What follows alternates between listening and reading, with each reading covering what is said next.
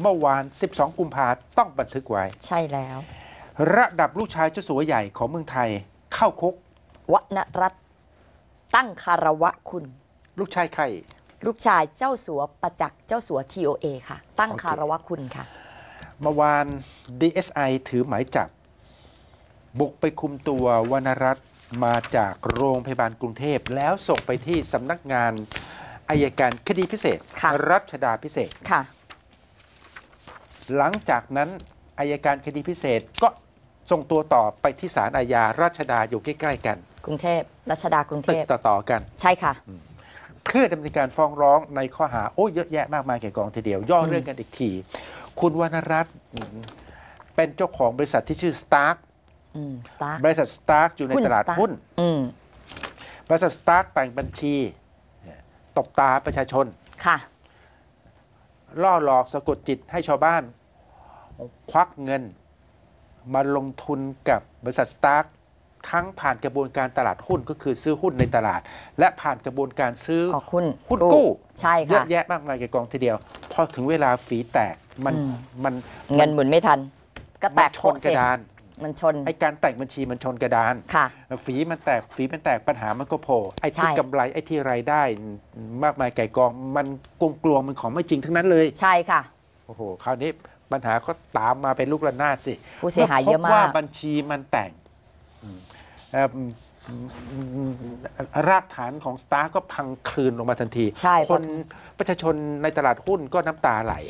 ประชาชนทั่ว ๆ ไปที่เอาเงินเก็บทั้งชีวิตไปซื้อหุ้นสตาร์ก็น้ำตาไหล ใช่ค่ะ หมดตัวด้วยค่ะ นี่คือที่มาของการดำเนินคดีเอากับคุณวรรณรัตน์กับคณะ นี่ก็คือที่มาเขย่าขวดกันสั้น ๆ ว่ากันไปค่ะเมื่อวานเขารุ้นกันเนี่ยว่าจะได้นอนคุกหรือจะได้ประกันตัวกลับบ้านภาพ ลูกเจ้าสัวเขาคุกตอนที่หยมาไหใช่ไหมเริ่มกันตั้งแต่คลิปน่าจะเป็นหน้าโรงพยาบาล น่าจะเป็นเหตุการณ์ขณะ DSI อ่านหมายจับให้รับทราบใช่ซึ่ที่เป็หน้าโรงพยาบาลก่อนรับตัวมาใช่ซึ่งเป็นขั้นตอนตามกฎหมาย ใช่ต้องอ่านนะคะ ถูกไหมฮะถูกต้องค่ะถูกต้องคุณมีค่ะหมายนี่จับกำลังก็นั่จริงงอ่านหน้าโรงพยาบาลเลยแหแต่ละขณะจะคุมตัวตามหมายจับ คุณต้องอ่านหมายจับค่ะ อย่างละเอียดตามนั้นคุณวรรณเป๊ะรัตน์ก็ๆนั่งฟังเสื้อขาว นั่งรถเข็น นั่งอยู่บนรถเข็น อันนี้ปรับเป็นนอนได้นะรถเข็นแบบเนี้ยอืมโอเคอะไปดูช็อตต่อไปครับค่ะ ไปดูช็อตต่อไปครับโอเคอืมสังเกตไหมครับว่าสังเกตไหมครับว่า คุณวรรณรัตน์เนี่ยถูกคุมตัวจากโรงพยาบาลในสภาพนั่งรถเข็น เป็นรถเข็นแบบนอนได้นะ อืมแต่ไปดูภาพสุดท้ายกันดีกว่า ค่ะ ไปดูภาพสุดท้ายกันดีกว่า อยู่ๆคุณวรรณรัตน์แกก็สามารถยืนได้และและแกก็เดินได้ มีคนประคองสองข้างอะจะมต้องมีคนประคองซ้ายขวานิดหนึ่งค่ะ เสียดายที่มันไม่ใช่คลิป ถ้าเป็นคลิปเรามัจะนจะเห็นเห็นภาษาภาพชักาดยที่สมบูรณ์กว่านี้ ใช่ แต่ภาพนี้ก็เห็นแล้วล่ะว่าสามารถลุกก็ยืนได้อะอืมสามารถยืนได้สามารถยืนได้เดินได้อะแบบนี้ก็ยืนได้ยืนได้เดิเดินนได้ได้ยืนได้อืมเดินได้ ไม่ค่ะต้องนั่งรถเข็นตลอดเวลาค่ะ อืม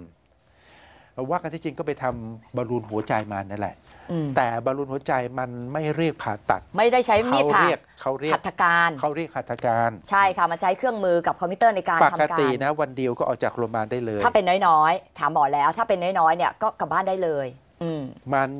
มันอยู่ที่สภาพร่างกายจะต่อต้านอะไรหรือไม่เท่านั้นใช่แหละนั่นแหละค่ะ แต่อาการเนี่ยเมื่อวานเนี่ยหมอวินิจฉัยแล้วว่าสามารถที่จะออกมาได้โอเค